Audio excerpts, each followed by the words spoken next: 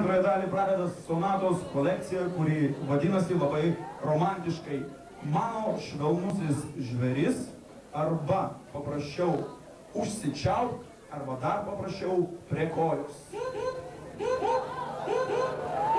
Shut up and sleep with me, come on, why don't you sleep with me? Shut up and sleep with me, come on, uh-huh, and sleep with me. Up and sleep with me, come on, why don't you sleep with me? Up and sleep with me, come on, uh-huh, and sleep with me. Up and sleep with me, come on, you sleep with me?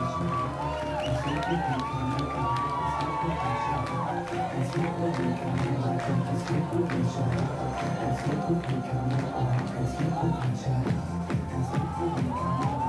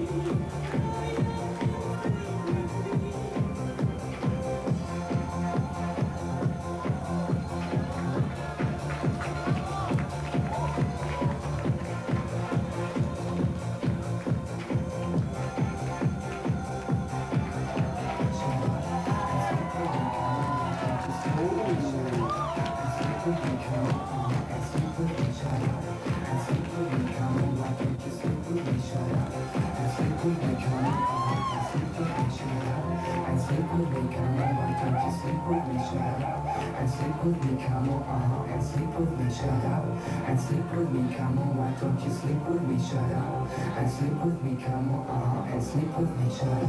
And sleep with me, come. Why don't you sleep with nature? And sleep with me, come. And sleep with nature. And sleep with me, come. Why don't you sleep with nature?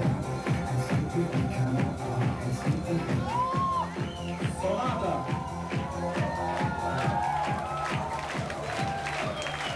Na ir tikriausiai supratote, kodėl tas pavadinimas.